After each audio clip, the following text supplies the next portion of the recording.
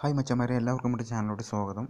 Mallu editor channel subscribe ചെയ്തിട്ടുണ്ടെങ്കിൽ subscribe ചെയ്യുക. Bell button enable ചെയ്ത് കഴിഞ്ഞാൽ പുതിയ നോട്ടിഫിക്കേഷൻ ലഭിക്കും. നമ്മൾ അലൈറ്റ് മോഷനിൽ എങ്ങനെ ഒരു ഒബ്ജക്റ്റ് ബിഹൈൻഡ് വീഡിയോ ചെയ്യാമെന്നാണ്. അത് ഒരു ഒബ്ജക്റ്റിനെ ഫോക്കസ് ചെയ്തിട്ട് അതിന്റെ ബിഹൈൻഡിൽ ടെക്സ്റ്റ് വെച്ചിട്ടുള്ള ലിറിക്കൽ വീഡിയോസ് എങ്ങനെ ചെയ്യാമെന്നാണ്. അപ്പോൾ ആദ്യം നമ്മുടെ Instagram ratio four is to five അല്ലെങ്കിൽ ഏതിലൊരു ഫ്രെയിം സെലക്ട് ചെയ്യുക. ക്രിയേറ്റ് പ്രൊജക്റ്റ് എന്നാണ് അതിൽ ക്ലിക്ക് ചെയ്യുക.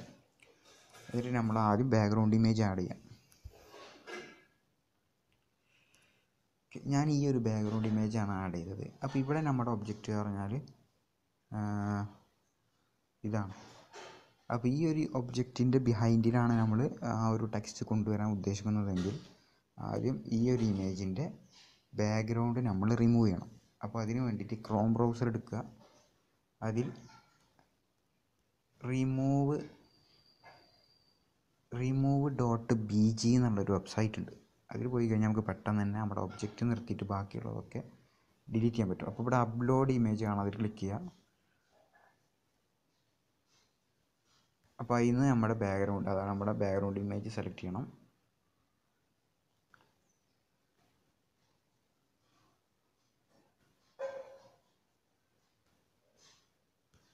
ഞാൻ ബാക്ക്ഗ്രൗണ്ട് ഇമേജ് എടുത്തു.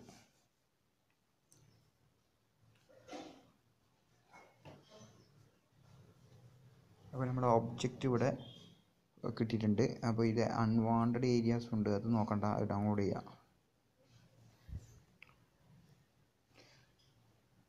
ഓക്കെ നമ്മുടെ ഒബ്ജക്റ്റ് ഡൗൺലോഡ് ആയിട്ടുണ്ട്. വീണ്ടും അലൈറ്റ് മോഷൻ റീസെന്റ് ആപ്പിൽ നിന്നും ഓപ്പൺ ആക്കുക. എന്നിട്ട് ബാക്ക്ഗ്രൗണ്ട് സെലക്ട് ചെയ്യുക. ബാക്ക്ഗ്രൗണ്ട് സെലക്ട് ചെയ്തിട്ട് ആദ്യം നമ്മൾ ചെയ്യാൻ പോകുന്നത്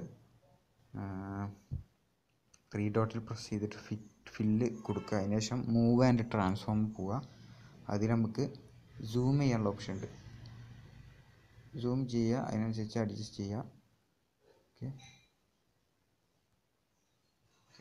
ഞാൻ ഇത്ര സെറ്റ് ചെയ്തു. ഓക്കെ അതിനുശേഷം പ്ലസ് ബട്ടൺ പ്രസ് ചെയ്യുക. ഇമേജ് ആൻഡ് വീഡിയോയിൽ നിന്നും നമ്മൾ നേരത്തെ സേവ് ചെയ്ത ഈ പി എൻ ജി ഇവിടെ കാണാമെന്നുണ്ടാവും.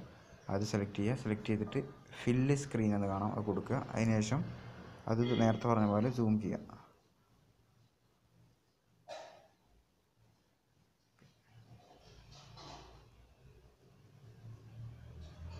കറക്റ്റ് വെക്കുക. ഓക്കെ ഇങ്ങനെ അഡ്ജസ്റ്റ് ചെയ്തതിന് ശേഷം ഇനി നമുക്ക് ലിറിക്സ് അങ്ങനെ ഇതിന്റെ ഈ ഒരു ആളെ ബാക്കിൽ വരാമെന്ന് കാണിച്ചു തരാം. പ്രസ് ബട്ടൺ പ്രസ് ചെയ്ത് ആഡ് ടെക്സ്റ്റ് എന്ന് കാണാം. അതിൽ നിന്നും തൽക്കാലം നമ്മൾ മല്ലു എഡിറ്റർ നോക്കും. ഓക്കെ. അതിന്റെ കളർ മാറ്റാണ്. അതുപോലെ തന്നെ അതിന്റെ ഫോണ്ട് സ്റ്റൈൽ മാറ്റി.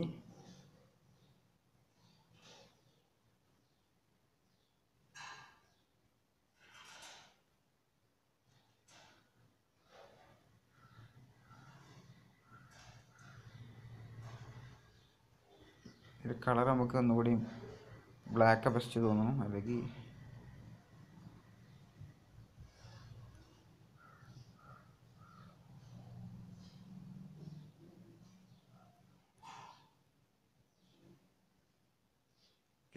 അവിടെ കേട്ടെ അപ്പോൾ ഇനി ഇതിന്റെ ബാക്കിലോട്ടാണ് നമ്മൾ ഫോക്കസ് ചെയ്യുന്നുണ്ടെങ്കിൽ ഇവിടെ നമുക്ക് മൂന്ന് ഈ സംഭവം ഇവിടെ നമുക്ക് ഈ അരൂര് കണ്ടോ?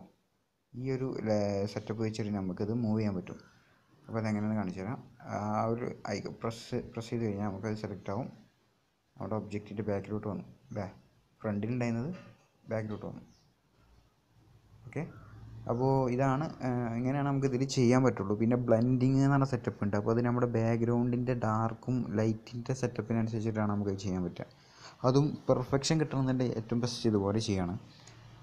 അപ്പോൾ ഈ ഒരു ടെക്നിക്ക് നിങ്ങൾക്ക് അറിയാമെന്ന് വിചാരിക്കുന്നു. അപ്പോൾ ഇതിൽ നമുക്ക് തൽക്കാലം ഒരു ചെറിയ ആനിമേഷൻ കൊടുക്കാം. ആനിമേഷൻ കൊടുക്കാൻ വേണ്ടിയിട്ട് ഇവിടെ ഓപ്പോസിറ്റി ആൻഡ് വിസിബിലിറ്റി എന്ന് കാണാം. അതിൽ നമ്മൾ ഫെയ്ഡ് ഇൻ ആൻഡ് ഔട്ട് ആനിമേഷനാണ് കൊടുത്തിട്ടുള്ളത്. അത് നോർമലാണ് ഒന്ന് പ്ലേ ചെയ്ത് കാണിച്ചു തരാം. ഒരു നോർമൽ വൈപ്പിംഗ് ഓപ്ഷനാണത് അതിനുശേഷം നമ്മൾ ബാക്കിയുള്ളതൊക്കെ ഏകദേശം ആ ഒരു റേഞ്ചിൽ സെറ്റ് ചെയ്യുക.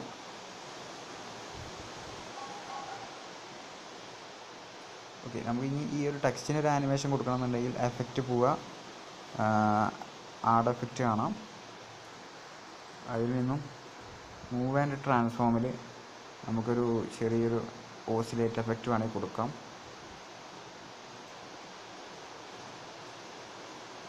ഓക്കെ അപ്പോൾ ഈ ഒരു വീഡിയോ നിങ്ങൾക്ക് ഇഷ്ടമായെന്ന് വിചാരിക്കുന്നു. അടുത്ത വീഡിയോ വീണ്ടും കാണാം. Thanks for watching